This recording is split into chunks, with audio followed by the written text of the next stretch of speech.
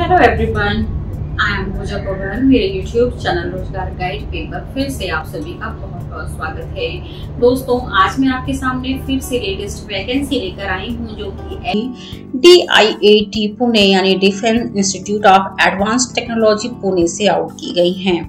कौन कौन सी पोस्ट पर वैकेंसी आउट की गई है number of vacancy category wise क्या रहने वाली है एलिजिबिलिटी क्या मांगी गई है, कौन से ग्रुप के लोग अप्लाई कर सकते हैं लास्ट डेट क्या रहने वाली है सैलरी क्या मिलने वाली है अप्लाई कैसे करना है सिलेक्शन प्रोसीजर कैसा रहने वाला है, इन सारी चीज़ों के बारे में डिटेल में वन बाई वन डिस्कस करेंगे।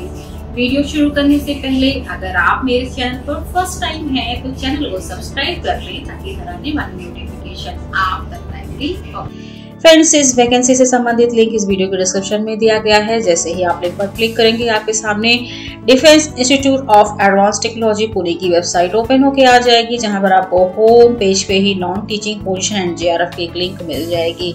इस पर क्लिक करने के बाद यहाँ से आप डिटेल्स देख सकते हैं, जैसा कि आप देख रहे हैं। 31 अक्टूबर 2022 ऑफलाइन अप्लाई करने की लास्ट डेट है। यहाँ पे आपको ऑफलाइन ही अप्लाई करना है। एडवर्टाइजमेंट की डिटेल्स आप यहाँ से देख सकते हैं एंड ऑफलाइन अप्लाई करने का फॉर्म आप यहाँ से डाउनलोड कर सकते हैं। तो सबसे पहले हम डिटेल्स देख लेते हैं। तो फ्रेंड्स ये वैकेंसी परमानेंट पोजिशन के लिए है। ऑल ओवर इंडिया के कैंडिडेट अप्लाई कर सकते हैं। Advertisement number zero eight N पर दिया गया है। नॉन टीचिंग पोजिशन के लिए सारी वैकेंसीज हैं। तो ये फ्रेंड्स टीम यूनिवर्सिटी है जो कि यूजीसी एक्ट 1956 में यहाँ के अंडर में ये इसकी स्थापना की गई है। वैकेंसीज देख लेते हैं, क्या डिटेल्स हैं। सबसे पहले लेबोरेटरी ऑफिसर के लिए वन वैकेंसी है लेवल सेवन की सैलरी है थर्टी फाइव कैडेट अप्लाई कर सकते हैं। यहाँ पर बीटेक मांगा गया है कंप्यूटर साइंस में फ़र्स्ट क्लास में, या अगर पास डिप्लोमा कंप्यूटर इंजीनियरिंग में है तो भी आप अप्लाई कर सकते हैं। साथ ही फोर ईयर का एक्सपीरियंस आपके पास होना चाहिए। सुपरिटेंडेंट के लिए वन वैकेंसी लेवल सेवन की सैलरी है थर्टी फाइव एज दी गई है। एसेंशियल क्वालिफिकेशन में यहाँ पर सिंपल ग्रेजुएशन मांगा गया है। सेकंड डिवीज़न में या इसके इक्वलन डिग्री होनी चाहिए। साथ ही फोर ईयर का एक्सपीरियंस मांगा गया है एडमिनिस्ट्रेशन में अकाउंट्स या सेक्रेटरियल वर्क में। नेक्स्ट है आपका एजुकेटिव असिस्टेंट की लेवल सिक्स की सैलरी है वन वैकेंसी है थर्ड ईयर कैंडिडेट अप्लाई कर सकते हैं। यहाँ पर भी सिंपल ग्रेजुएशन मांगा गया है।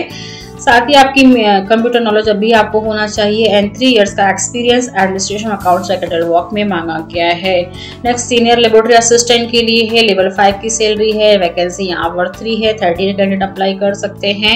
यहाँ पर बी कंप्यूटर साइंस में मांगा गया है सेकेंड क्लास में, या आपके पास डिप्लोमा कंप्यूटर साइंस में है, या इंजीनियरिंग में है, या टेक्नोलॉजी में है, या आईटी में है फ़र्स्ट क्लास में होना चाहिए तो अप्लाई कर सकते हैं। साथ ही टू ईयर का experience website handling job data centre ए की setup handling in data centre में लेवल फोर सैलरी पर मांगी गई है। नेक्स्ट है सीनियर लेबोरेटरी असिस्टेंट की लेवल फाइव की सैलरी है वन वैकेंसी है थर्टी ईयर दी गई है। एंड uh, यहाँ पर सिंपल बीटेक इलेक्ट्रॉनिक्स में मांगा गया है एटलीस्ट सेकेंड क्लास में होना चाहिए। या के पास थ्री ईयर का डिप्लोमा इलेक्ट्रॉनिक्स में है तो भी अप्लाई कर सकते हैं।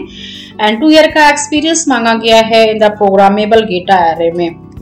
नेक्स्ट है सीनियर लेबोरेटरी असिस्टेंट की लेवल फाइव की सैलरी है वन वैकेंसी है थर्टी ईयर एज है। यहाँ पर डिप्लोमा इन केमिकल इंजीनियरिंग में मांगा गया है फ़र्स्ट क्लास में टू ईयर का एक्सपीरियंस कंसर्ट फ़ील्ड में मांगा गया है। लेबोरेटरी असिस्टेंट की लेवल फोर की सैलरी है वन वैकेंसी है ट्वेंटी एट ईयर एज दी गई है। यहाँ पे डिप्लोमा केमिकल इंजीनियरिंग में मांगा गया है। फ़र्स्ट क्लास पे होना चाहिए। नेक्स्ट है लेबोरेटरी असिस्टेंट के लिए वन वैकेंसी लेवल फोर की सैलरी है ट्वेंटी एट एज है। यहाँ पर भी डिप्लोमा मैकेनिकल इंजीनियरिंग में मांगा गया है। नेक्स्ट है, आपका असिस्टेंट के लिए लेवल फोर की सैलरी है एंड थ्री वैकेंसी यहाँ पर दी गई है। ट्वेंटी एट ईयर एज है। यहाँ पर सिंपल ग्रेजुएशन मांगा गया है। इसके अलावा आपकी typing speed data entry computer में होना चाहिए। एंड टाइप स्पीड भी मांगी गई है। इसके अलावा जो भी कैंडिडेट सेलेक्ट होते हैं, उन्हें टू ईयर के प्रोबेशन पीरियड पर रहना होगा एंड यहाँ पर एज रिलैक्सेशन एज पर गवर्नमेंट ऑफ़ इंडिया रूल्स के हिसाब से ही सभी पोस्ट पर लागू होगी। एप्लीकेशन फ़ीस की बात करें तो जनरल ओबीसी कैंडिडेट के लिए एप्लीकेशन फ़ीस आपकी 500 है S C S T P W D women candidate के लिए किसी भी तरह की एप्लीकेशन फ़ीस नहीं मांगी गई है। एंड एप्लीकेशन फ़ीस आप नेफ्ट के थ्रू फिल कर सकते हैं, जैसा कि आप देख रहे हैं यहाँ पर।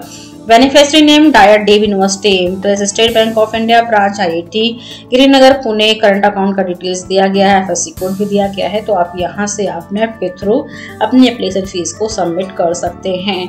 अप्लाई आपको ऑफलाइन ही करना है, जैसा कि मैंने बताया हार्ड कॉपी को आपको फॉर्म को डाउनलोड करना है, अपने सभी सेल्फ अटेस्टेड डॉक्यूमेंट्स के साथ में।